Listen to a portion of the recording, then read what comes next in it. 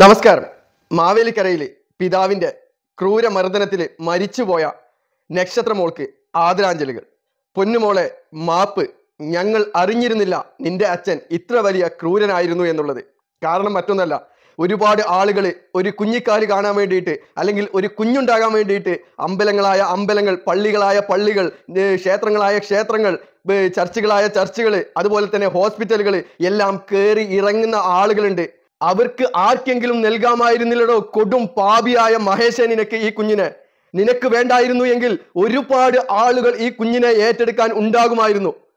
നിന്റെ ഒരു നിമിഷത്തെ സുഖത്തിന് വേണ്ടിയിട്ട് നീ ഉപയോഗിച്ച ലഹരി വസ്തു കൊണ്ട് സ്വന്തം കുഞ്ഞിനെ വെട്ടിക്കേറി കഷ്ണങ്ങളാക്കിയിട്ട് ആ കുഞ്ഞിനെ മരണത്തിന് വിട്ടുകൊടുത്ത നിന്നോടുള്ള ജനങ്ങളുടെ പ്രതികാരം അത് ഈ ജന്മത്തിൽ ജനങ്ങൾ ഒരിക്കലും മറക്കാൻ പോകുന്നില്ല.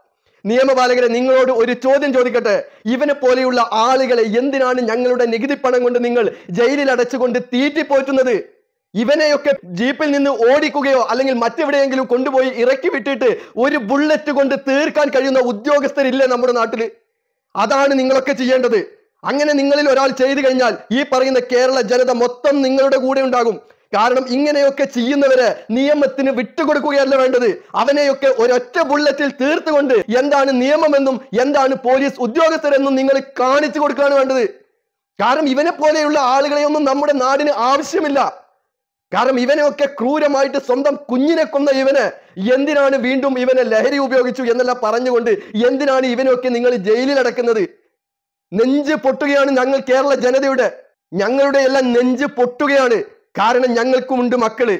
ഞങ്ങളുടെ ഒക്കെ മനസ്സിൽ ഞങ്ങൾ ഒന്നടങ്കം പറയുന്ന ഒരേ കാര്യമേ ഉള്ളൂ. ഇവനെ ഒന്നും നിയമത്തിന്റെ മുൻപിൽ കൊണ്ടുപോകാനോ അല്ലെങ്കിൽ ഇവനെ പോലെയുള്ള ആളുകളെ എന്തിന് നിങ്ങൾ നിയമത്തിന്റെ തണലിൽ നിർത്തി ഞങ്ങളുടെ നികുതി പണം കൊണ്ട് എന്തിന് തീറ്റിപ്പോറ്റുന്നു ഇവനെയൊന്നും ജനങ്ങൾക്ക് ആവശ്യമില്ല. ഇവനെ പോലെയുള്ള ആളുകളെ മഹേഷിനെ പോലെയുള്ള ആളുകളെ ആ നിമിഷം ആ സ്പോട്ടിൽ വെച്ച് തീർക്കാൻ കഴിയണം. അങ്ങനെയുള്ള നിയമമാവണം നമ്മുടെ നാട്ടിൽ വരേണ്ടത്.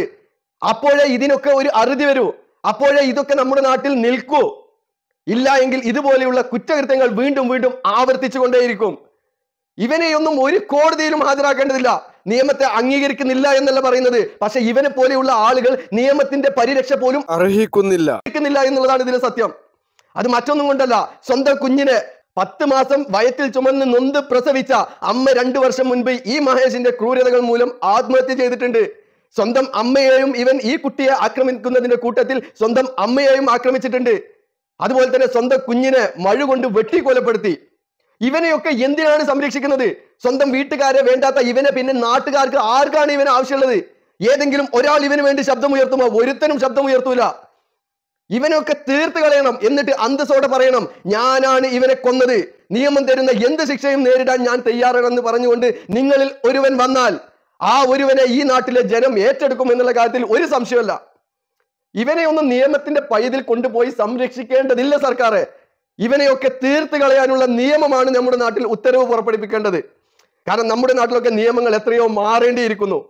അല്ലാത്ത കാലത്തോളം ഇതുപോലെയുള്ള കുറ്റകൃത്യങ്ങൾ നമ്മുടെ നാട്ടിൽ കൂടിക്കൊണ്ടേയിരിക്കും. അതിൽ ഒരു സംശയമില്ല. കാരണം നിയമത്തിലെ പഴുതുകളാണ് ഇതുപോലെയുള്ള ആളുകളെ വീണ്ടും വീണ്ടും എന്ത് ചെയ്യുന്നത്? കുറ്റകൃത്യങ്ങൾ ചെയ്യാൻ വേണ്ടിയിട്ട് പ്രേരിപ്പിക്കുന്നത്. അതെങ്കിലും നിങ്ങൾ മനസ്സിലാക്കുക.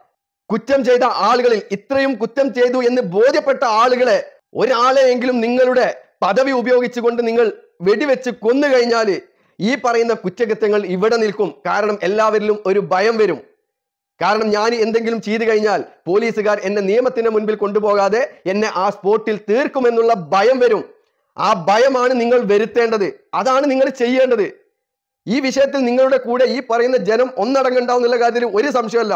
അതിന് ചങ്കുറപ്പ് കാണിക്കുന്ന അതിന് ചങ്കുറ്റം കാണിക്കുന്ന ഏതൊരുത്തനായാലും അവനെ കേരള ജനത നെഞ്ചോട് ചേർത്ത് പിടിക്കും എന്നുള്ള കാര്യത്തിൽ ഒരു സംശയമല്ല സാറന്മാരെ.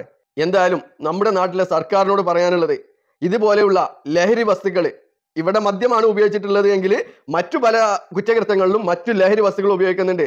അതിനു വേണ്ടിയിട്ട് കഠിനമായിട്ട് ഈ ലഹരി വസ്തുക്കൾ നമ്മുടെ നാട്ടിൽ നിർത്താൻ വേണ്ടിയിട്ടുള്ള നടപടികൾ നമ്മുടെ സർക്കാർ തുടങ്ങണമെന്നേ എനിക്ക് പറയാനുള്ളൂ. അതിന് സർക്കാർ ഒറ്റയ്ക്ക് വിചാരിച്ചത് കൊണ്ട് കഴിയില്ല.